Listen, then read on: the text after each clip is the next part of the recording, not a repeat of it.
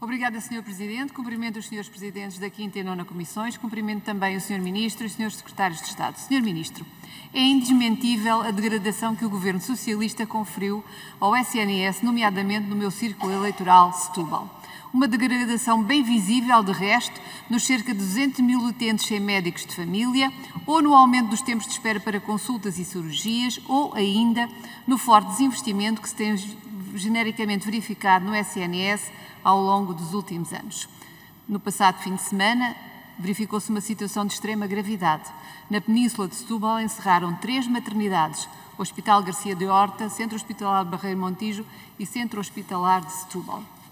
Sr. Ministro, no Distrito de Setúbal, decorridos oito anos de governação socialista, é necessário afirmar aqui nesta audição que o legado que deixaram à população do meu círculo eleitoral foi o seguinte: hospitais, USS, USCPs, seus recursos humanos e materiais capazes de garantir o pleno funcionamento destas valências do SNS.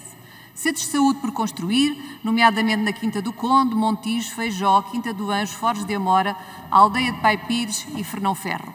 O Sr. Ministro tem anunciado à exaustão que desde 2015 as verbas destinadas à saúde, no âmbito das sucessivas propostas de orçamento do Estado, têm vindo a aumentar. Ora, é lícito perguntar-lhe porquê que, com todos estes orçamentos de Estado, ao fim de oito anos, ainda não foram criadas as condições para dar resposta ao que eu acabei de anunciar, ou seja, porquê que não foram efetuadas as necessárias reformas no SNS em ordem a garantir o acesso universal e atempado da população do Distrito de Setúbal aos cuidados de saúde da responsabilidade do Estado. Obrigada, Sr. Presidente.